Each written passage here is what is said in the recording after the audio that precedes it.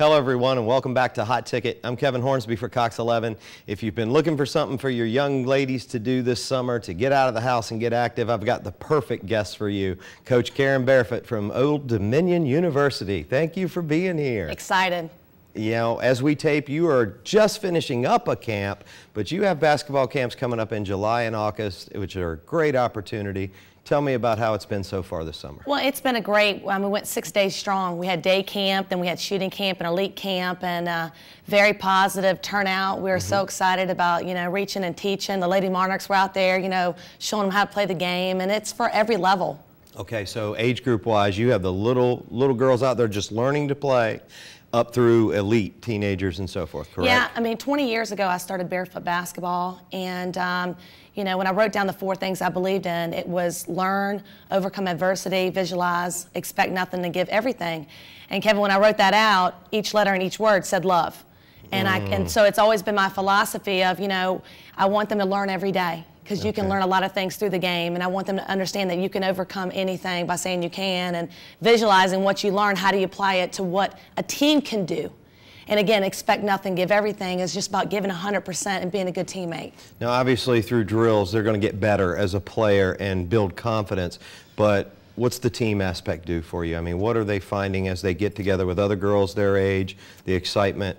How's that going? Well, I am so passionate about giving back, and I'm from this community. And so for them, I, tell them, you could touch one life just by being out there interacting with them, give them confidence, make them believe, and feel like they're, you know, they're somebody. And so for us, they enjoy it, and our players, they really get after when they're out there. They really are compassionate to those kids. Well, I've known you for a little while. In competition, your competitive nature seems to have always been at the forefront. So what is it like when your players, who these girls can see on television and see when they go to the games, step out on that court with them?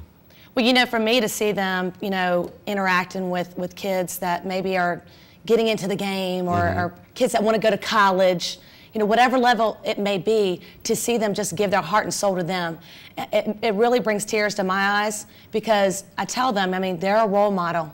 You know, they, they are playing at a high level basketball. We're Old Dominion. Yeah. Um, and, and so for them to be able to have a strong voice, and, and, to be able to just have that interaction with them. They can walk out that door and be confident and accomplish whatever they want. Now, the next camp we have coming up is going to be July 20th through the 23rd. Tell me, if, if I'm a parent sitting at home and have a young lady that's played a little rec ball or something and I'm thinking this might be good, what can they expect when they come to your camp? Well, we're going to have a lot of fun for sure, but we're going to work on things that are important. I mean, I think um, with today's uh, generation, I mean, they're exposed to a lot of different things like mm-hmm. video games, social media, things like that. So they lose that voice, that communication piece. So I'm working on leadership with certain drills okay. and also the confidence factor. I see a lot of head, heads down. And so I want them to be able to learn and be okay. And maybe you can't make every shot, but it's the next shot or what mm-hmm. can you do to help your team get better so it's you know just making them understand the confidence yeah. and I, I, think that the biggest thing is the compassion part i want to see them care about each other i want to see them be a good team okay. i want them to you know go out there and, and, you know everybody comes in with different backgrounds whatever it may be is be able to go out there and, and just accept each other and, and have fun and be mm-hmm. a team because really in life that's what it's about and we have another camp coming up in August, so there's uh, many opportunities for these folks to get out there. Now, you've been at Old Dominion how long now? Well, four years. I just finished my fourth year. As so, head coach? Yeah. Okay, and have been an assistant. What's the culture like? I mean, you have one of the greatest facilities in college sports anywhere. The best. Yeah, the, the Constant Center is, I love going in there every single time we do something. But what's the culture been like? What's the crowd interaction been like supporting your program? It's, it's really amazing. Um, the compassion, the passion they have for Lady Monarch basketball.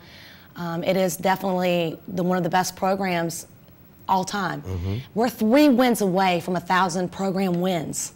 There's only that's, four schools that have ever done that before. That's phenomenal. So this year is going to be so exciting. Um, we can't wait to reach that mark, and uh, this team is really, really working hard in off season to get ready for this upcoming year. And do you find, uh, we have just about 40 seconds left, but do you find that for players that focus on their own individual game, getting better as a team, to do the stuff in the community, like helping with these camps, really builds the teamwork aspect with them? Oh, definitely. And I said the definition of leadership is just not leading by example, but helping others lead.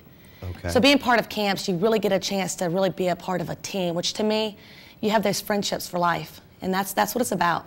So you've grown up a sports fan, you're still doing this. Absolutely. this is your passion. You got it. So we want to invite everyone to come out to these basketball camps to learn a lot more about than just about basketball, but also about life.